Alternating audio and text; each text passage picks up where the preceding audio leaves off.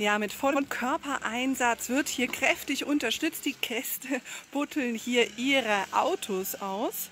Und natürlich äh, präparieren sie auch schon ihre Autos für morgen, denn man hofft dann doch endlich morgen runterfahren zu können. Die Autos freigeschippt, denn wir haben die Info bekommen, dass die Straße tatsächlich jetzt, und zwar die hier,